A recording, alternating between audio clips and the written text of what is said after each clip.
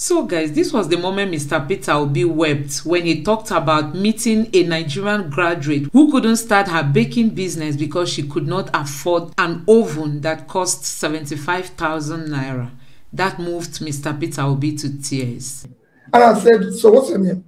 She said she's just called her name. I said, So who are you? Said she was from Nasarawa.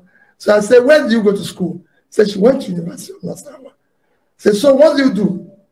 Says she has no job. She graduated since 2018. Says, so what are you trying to do? She told me she's learned how to do baking. So why are you not baking instead of being here to do this? Says she doesn't have 75,000 naira to buy an oven.